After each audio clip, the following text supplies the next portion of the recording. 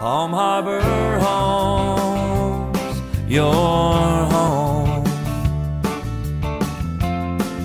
One of the things that we do differently at Palm Harbor Homes is that we use oriented strand board for all of our subfloors.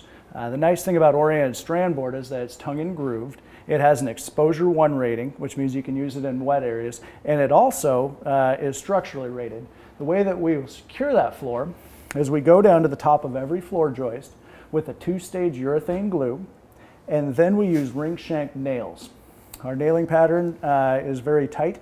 We end up at about four inches on center for this area. So our goal is, is that we want to create a floor that's going to be very strong because you know, extra nails are cheap, but squeaky floors are very expensive. Hi, my name is Mike Johnson. I'm with Palm Harbor Homes, and I want to tell you about one of the best national promotions we have going on here at Palm Harbor Homes in Millersburg. Entertainer Package. Say you've seen this video, it includes a flat screen TV, it includes a surround sound system. That comes with every home through February, but mention this video or you don't get it. Ask for Mike Johnson, Palm Harbor Homes. Palm Harbor Homes, your